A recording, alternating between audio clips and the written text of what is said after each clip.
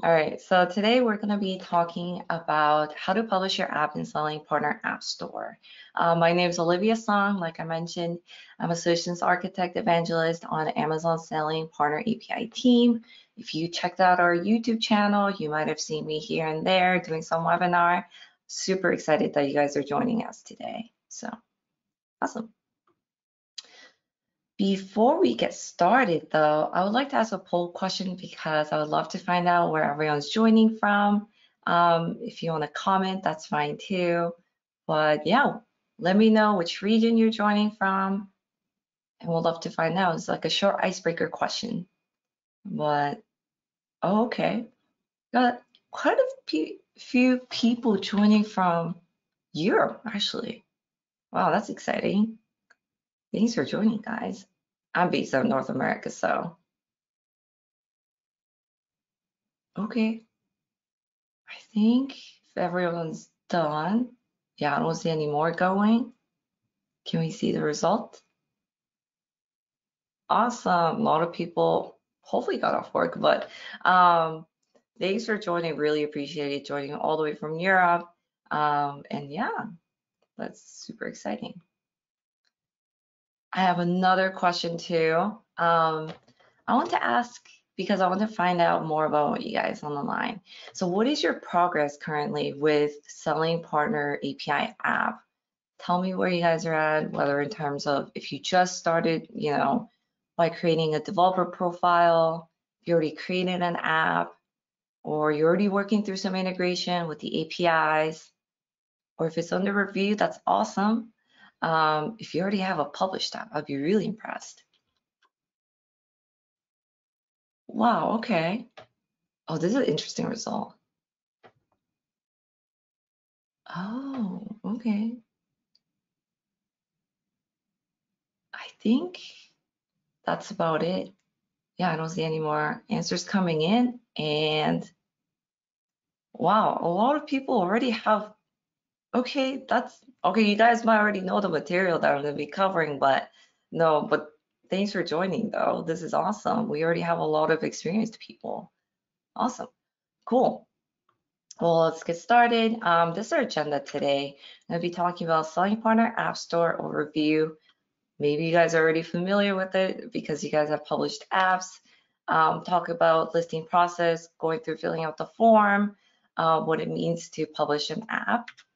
And lastly, tips and tricks, best practices for those who are preparing to publish their app.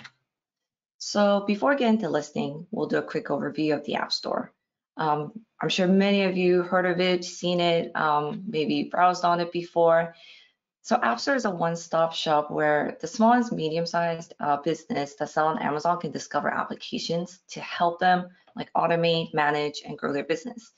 It's accessible from Seller Central, as you can see on the screenshot, and uh, it's created by Amazon or other third-party uh, developers like yourselves that cover a range of functionality across, uh, you know, the selling lifecycle. This is where sellers can also leave their ratings of your application in the App Store. So if you're planning to list your app soon, make sure to refer to our communication guideline in our documentation uh, when thinking about communicating to customers that your application is an App Store. Listing prereqs. So before starting the listing process, you have registered um, as a public developer for public SP-API application, and you have configured an OAuth authorization workflow through Selling Partner App Store on your own website, and all the features on your app are compliant with Amazon's acceptable use policy, AUP, and data protection policy, DPP. I'm sure you guys are aware of this. Um, before I get started on the listing process, I would like to ask another poll question.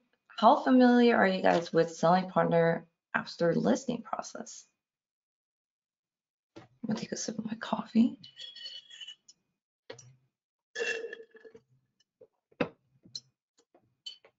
This is a very interesting result. Oh, oh. Wow, okay. Look at that, not familiar at all, vaguely familiar? Okay, I'm very surprised. Um, but glad that you guys are here to learn about the process. Thanks, Krista. Okay. Getting started, listing the process. Now let's move on to the actual process where I'll be going through filling out the form and explaining um, the fields, you know, and by this point, when you're ready to list your process, uh, list your app, you should have your SPAPI integration done complete, like all the tests, whether it be user beta test, integration test, and you're ready to publish the app. Let me start this really quickly. Hello. Sorry, technical difficulties. I don't know why I'm having such a hard time. Oh, okay. Oh, okay. Apparently I started my video. So this is where you would go in Partner, um, Seller Central. This is where you would see all your apps and you go to listing.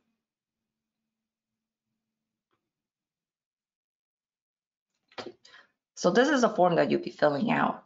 Um, obviously, language is super important because this will determine which language your listing information will be provided in. I chose English because I'm more, that's what will be provided in.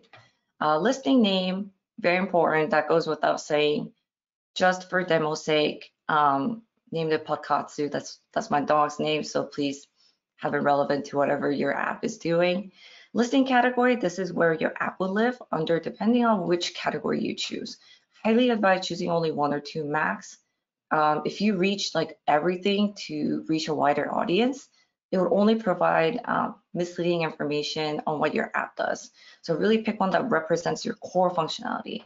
Um, and I'm gonna deselect analytics and reporting because I wanna have inventory as my main.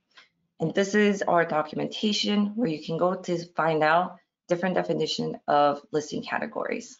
So make sure to check it out before you select it if you're not sure. Cool.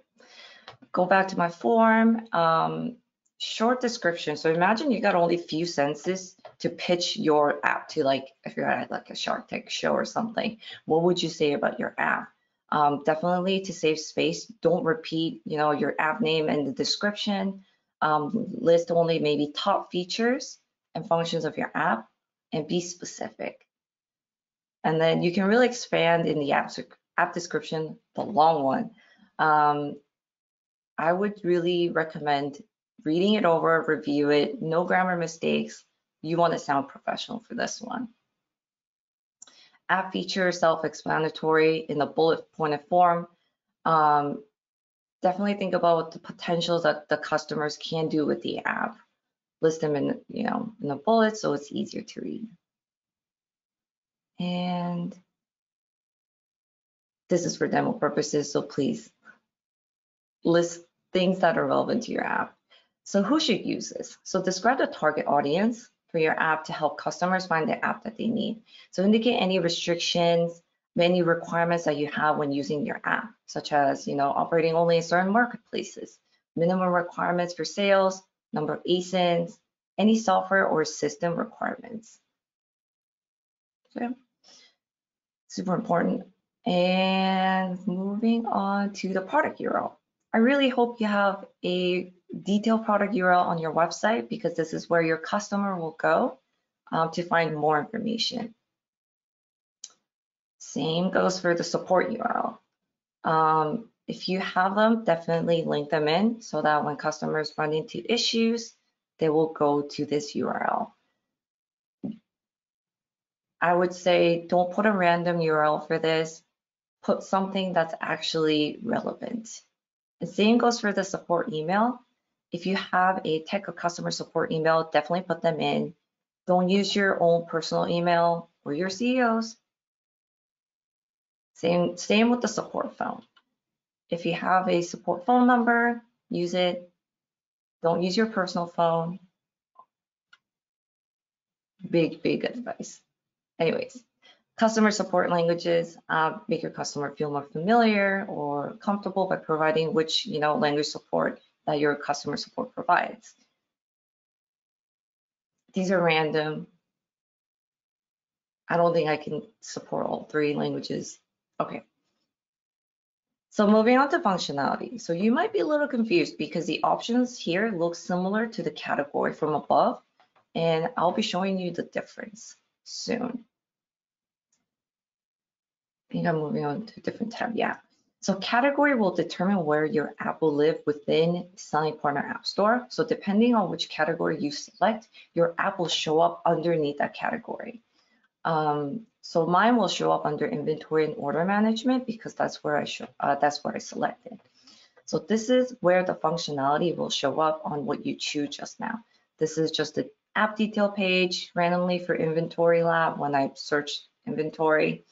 Um, make sure you only check off the minimum to, to guide your customers for better customer experience on what your app provides in term, terms of functionality one thing to keep in mind is that definitely don't check off everything um, because you should only check off things that your app can actually do. Um, if you're not aware of what these programs that you support are, then probably you don't support them. If you do, definitely, definitely select them. And marketplaces, I think you're aware of these, whichever marketplaces you operate in, definitely select them. Next is the pricing model. So if you choose request quote from developer, um, if your pricing model is determined by case by case, depending on seller's needs, describe your pricing model in the description. And you can also include like a promo code in the description if you want. Think I did provide mine. It's coming. Okay. And then if you obviously select free, that means you are offering your app at no charge. And if you choose starting if your pricing model is based on monthly or yearly charges, you can do a free trial in length of days. Um, if it's not based in days, you can specify that in the description. And obviously I put mine as whatever for demo purposes only. Next is the business logo, picture, adhere to the actual pixel requirements. Otherwise, it won't show up. So I had to like resize mine a couple times for this demo. And I think it'll show up just a little bit.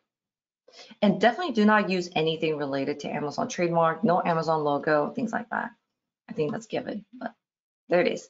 So when you hit and save and submit, this will actually submit your app for listing. So think twice, take a moment. Okay, I didn't definitely breathe, but there it is. This is a confirmation and you can track the status of your submission in your case log. And I think that was it through the whole form. You have any questions, feel free to leave in the chat and I'll take them after. I just wanted to reiterate um, this category section. Once again, this is where the category section is within Selling Partner App Store. And depending on the category that you choose, that's where your app will show up when your customers are browsing, browsing through different categories. And this is where the functionality is. And definitely, yes, they might overlap in terms of some options, but definitely check off the minimum to help the guide customers for their better customer experience. Definitely don't check off everything, only the ones that are relevant to your app. Okay, now let's move on to tips and tricks. This might be obvious, but really wanted to iterate to help you um, guide through the process of listing your app so it'll be smooth. So definitely it's really important to get another pair of eyes on the submission to check off for any missing information or errors before submitting. Once again, never use your own email. Please use your own company support email. You got to use company's landing website, not google.com, not just any like vain URL. Because customers are interested in seeing what your websites are and the product URL too. This is common, but really, we want to make the description sound professional. I can't stress this a lot, I mean, anymore, but in this day and age, we should all be using a secure HTTPS website, not HTTP.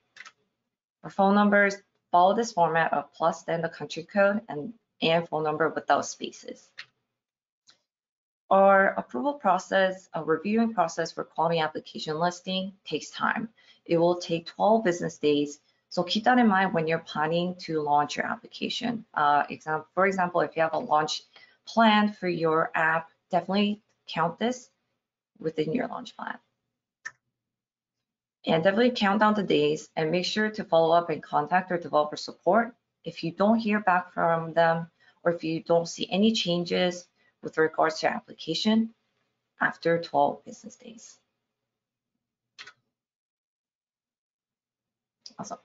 Checking the status of case log. Um, I'll show you a demo, quick demo after this, but this is where you see all your uh, cases and the status.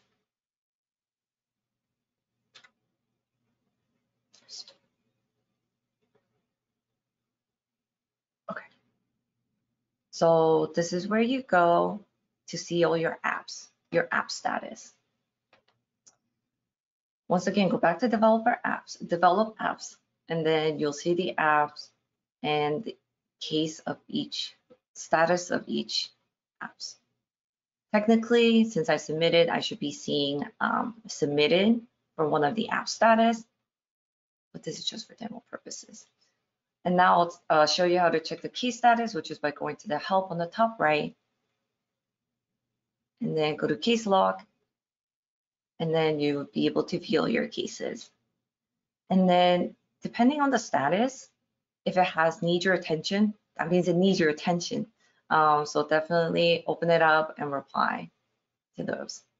And I think I show also the um, documentation of what each of these status mean when it comes to the app status or when it comes to the key status. Those are two different things. So definitely check out this documentation to see what each of these key status means.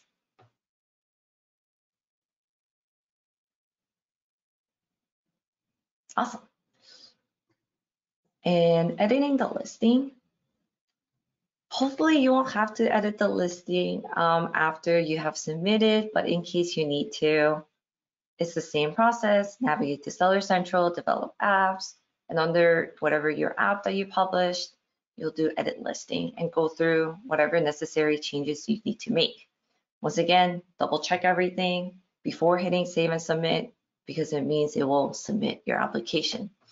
And if you have submitted the app for listing and is currently under submitted status, there's no way to withdraw the app. So you have to contact your developer support. That is all I had for content. And before we move on to our Q&A, can I ask a quick poll question on how confident you feel about starting the, the listing process?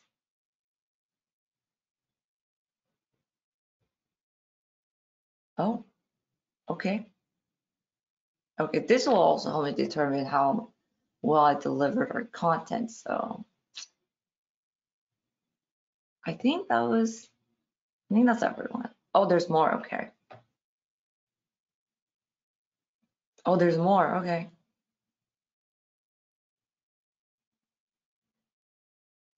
Awesome.